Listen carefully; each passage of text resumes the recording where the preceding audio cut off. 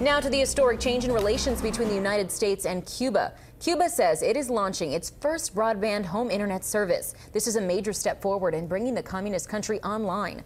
The telecommunications company of the island says it will allow Cubans to order home service through fiber optic connections with a Chinese telecom firm. The company says the new service is a pilot project. Prices are expected to be announced in the future.